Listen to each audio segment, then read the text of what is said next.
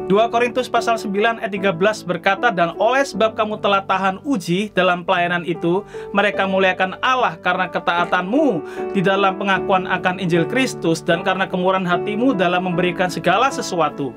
Bapak Ibu di masa yang sulit ini kita mesti tahan uji karena tahan uji menjadi sebuah tantangan ketaatan yang gak mudah dilakukan. Waktu Paulus menyebut jemaat di Korintus tahan uji karena mereka benar-benar telah membuktikan mereka memiliki hati yang berkorban untuk memberi, membantu kesulitan jemaat Tuhan yang sangat membutuhkan.